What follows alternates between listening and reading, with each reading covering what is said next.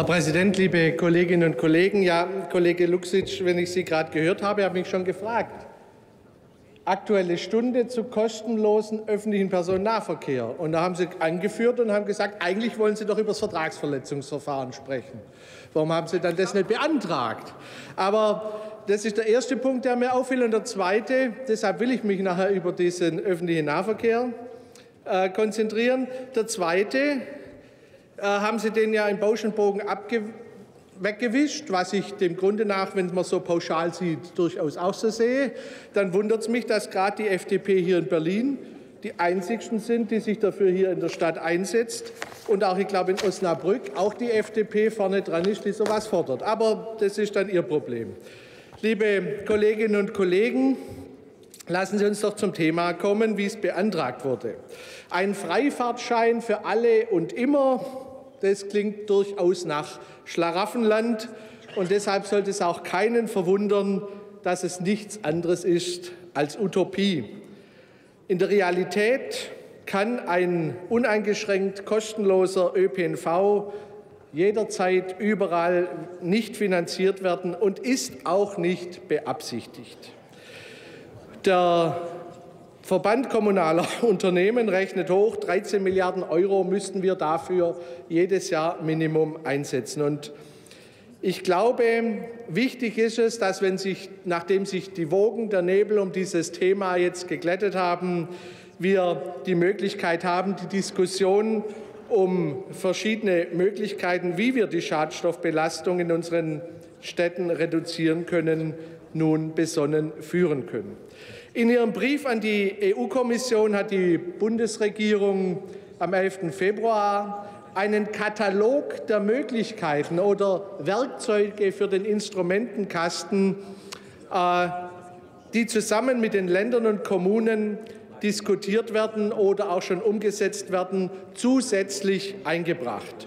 Und dazu gehört auch die Frage, wie man möglichst viele Autofahrer dazu animieren kann, auf den ÖPNV umzusteigen, um die Abgasbelastung aus dem Individualverkehr zu reduzieren. Und dass in diesem Zusammenhang ein generell kostenloser ÖPNV nicht finanzierbar ist und womöglich sogar zu unerwünschten Effekten führen kann, haben solche Versuche in Städten, wo das schon ausprobiert wurde, gezeigt. Im brandenburgischen Templin zum Beispiel konnte man das Ganze nach fünf Jahren nicht mehr finanzieren, musste das Projekt beenden. Im estnischen, in der estnischen Hauptstadt Tallinn hat der kostenlose ÖPNV beispielsweise dazu geführt, dass plötzlich vermehrt Fußgänger und Radfahrer auch noch alle in die Busse eingestiegen sind und das System an den Rand kam. Auch das ist widersinnig, weil wir wollen ja nicht nur das Bus- und Bahnfahren, sondern auch das Radfahren fördern. Aber ein kostenloser ÖPNV an einzelnen bestimmten Tagen mit hoher Schadstoffbelastung könnte eine Variante sein, die vielleicht die eine oder andere Stadt umsetzen möchte. Ich glaube, es ist ein wichtiger Baustein, der dazu führt, und das können wir, glaube ich, auch in unserer Landeshauptstadt in Stuttgart sehen, wo die Werte ja die letzten Jahre kontinuierlich zurückgehen, dass diese verbilligten Tickets, die man angeboten hat, eine Möglichkeit waren. Und wenn dann die Maßnahmen aus dem Sofortprogramm Saubere Luft noch dazukommen, werden sich die Werte sicherlich noch weiter verbessern. Und ich finde es richtig, dass wir den Kommunen mehrere unterschiedliche Maßnahmen zum Testen an die Hand geben, um die Innenstädte, die Luft in den Innenstädten zu verbessern, ohne dass man Fahrverbote aussprechen muss. Wir setzen lieber auf eine Politik, in der Kommunen, in Kommunen gute Ideen gefördert werden und wir auf die Vernunft der Bevölkerung setzen, als sie mit Verboten zu drangsalieren. Und weil aber, weil aber jede Stadt, jede Gemeinde anders ist, ist es richtig, dass die Bundesregierung vorschlägt, zunächst in fünf Modellstädten mit unterschiedlichen Ausgangslagen hinsichtlich Einwohnerzahl, Schadstoffbelastung, Verkehrssituation etc.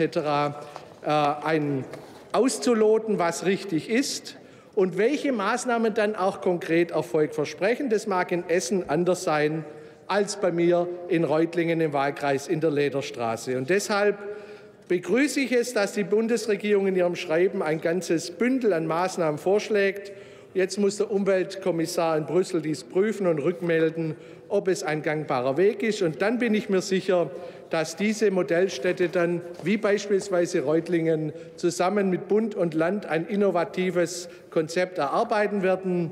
Da kann dann auch ein kostenloser Nahverkehr an Tagen mit hoher Belastung dazugehören, muss es aber nicht. Man muss es auf jeden Fall genau prüfen, damit wir weniger Pkw-Verkehr bekommen, ohne dass wir gleichzeitig dem ÖPNV schaden. Im Gegenteil. Vielen Dank.